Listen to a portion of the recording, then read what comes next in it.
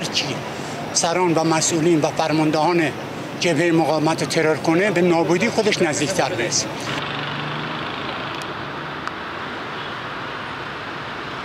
این ترورها و از بین بردن یک فرمانده مقاومت خلالی در کارشون پیش نمیاد. فقط به تأخیر میندازه این چیزو.